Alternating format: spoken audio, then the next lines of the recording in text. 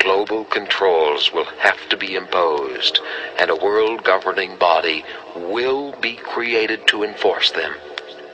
Crises precipitate change.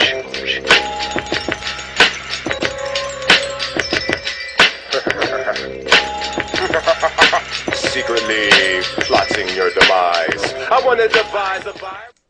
Hello everyone, Darko 2012 here with Global Government News, and I'm covering an article from February 8th, 2010. But it, it is going to make a lot of sense. It's going to make a lot of sense when I get to the article, the title of this video. So, um, but look at what it says here: How Goldman Sachs helped Greece to mask its true debt, and it says Goldman Sachs helped the Greek government to mask the true extent of its deficit with the help of a derivatives deal that legally circumvented the EU uh, Maastricht, Maastricht, not sure if I pronounced that right, uh, deficit rules. At some point, the so called cross currency swaps will mature and swell the country's already bloated deficit. Says here, uh, creative accounting took priority when it came to totting up uh, government debt. Since 1999, the Maastricht rules threatened to slap hefty fines on euro member countries that exceeded the budget deficit limit of 3% of gross domestic product. The uh, total government debt mustn't exceed 60%.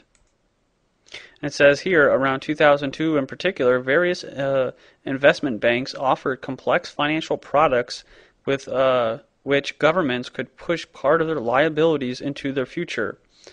Uh, one insider recalled adding that Mediterranean countries had snapped up such products, and it says Greece, Greece's debt managers agreed a huge deal with the savvy bankers of the U.S. investment bank Goldman Sachs at the start of 2002. The deal involved so-called cross-currency swaps in which government debt issued in dollars and yen was swapped for euro debt for a certain period to be exchanged back into the original currencies at a later date. And of course, this is the same investment bank that um, that um, was betting against the housing market, betting that it would go that it would go bust, while telling everybody and recommending everybody to get into the housing market. So, um, yeah. And just finish up on this uh, article here. It says at some point Greece will have to pay up for its swap transactions, credit default swaps, and derivatives markets. You know, just fiat crap, right? and uh, and it says and that will Im- impact its deficit. The bond maturities uh, range between 10 and 15 years. Goldman Sachs charged a hefty commission for the deal and sold the swaps onto a Greek bank in 2005. The bank declined to comment on the controversial deal. The Greece Finance Ministry did not respond to a written request for comment. So here in uh, February 2010, who would the uh, Greeks hire? uh, for their debt cheat jet chief, uh, none other than the Goldman Sachs banker, former Goldman Sachs banker.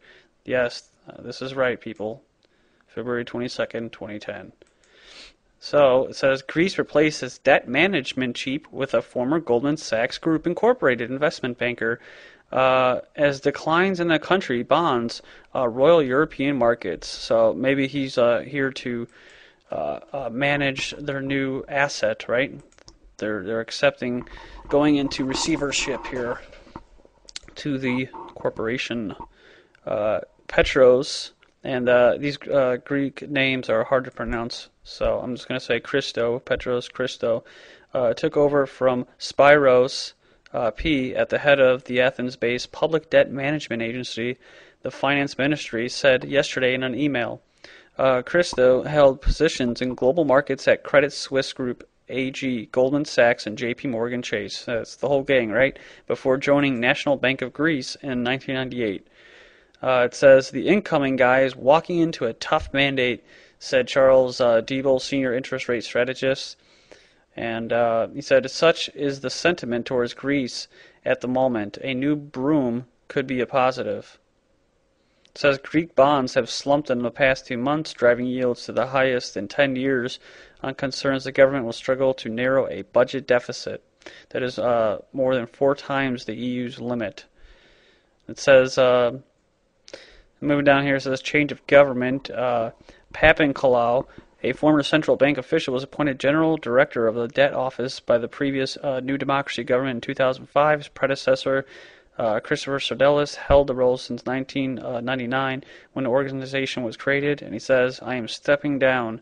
Uh, he said in a telephone interview yesterday, it's a, it is normal that a new government changes staff, he said. It's a long tradition. Whether it's good or not, that's another story. And it said uh, Cristal is a member of the Foundation of Economic and Industrial Research, and he holds a Bachelor of Science from the Athens School of Commerce. And it said it's a challenging job, and we're going to have a very difficult, difficult period. So there you go. Former Goldman banker as debt chief. And while we're on the whole uh, uh, debt uh, Greek debt crisis, I thought I thought I'd throw this in here because FT.com, FinancialTimes.com, has some great articles, uh, insightful articles, and it says uh, it's titled "A Greek Crisis is Coming to America," and this is from February 10th, 2010. And um, it says it began in Athens, it is spreading to Lisbon and Madrid, but it uh, it would be a grave mistake to assume that the sovereign debt crisis that is unfolding will remain confined to the weaker eurozone economies, for this is more than just a Mediterranean problem with a farmyard acronym. It is a fiscal crisis of the Western world. Its ramifications are far more profound than most investors currently appreciate. There is, of course, a distinctive feature to the Eurozone crisis because of the way the European Monetary Union was designed. There is, in fact, no mechanism for a bailout of the Greek government by the EU, other member states, or European Central Bank. True, Article 122 may be invoked by the European Council to, to assist a member state that is, quote, seriously threatened with severe difficulties caused by natural disasters or exceptional occurrences beyond its control. Uh, End quote. But at this point, nobody wants to pretend that Greece's yawning deficit was an act of God. Nor is there a way for Greece to devalue its currency as it would have done in the uh, pre EMU days of the drachma. There is not even a mechanism for Greece to leave the Eurozone. It goes on to say that uh, that leaves just three possibilities. One of the most excruciating fiscal squeezes in modern European history, reducing the deficit from 13% to 3% of uh, GDP within three years, outright default on uh, on all or part of the Greek government's debt, or most likely, as signaled by the German officials on Wednesday, some kind of bailout led by Berlin. Because none of these options are very appealing, and because any decision about Greece will have implications for Portugal, Spain, and possibly others, it may take much uh, much horse trading before one can be reached. It says uh, yet uh, the idiosyncrasies uh, of the eurozone should not distract us from the general nature of fiscal crisis that is now afflicting most Western economies.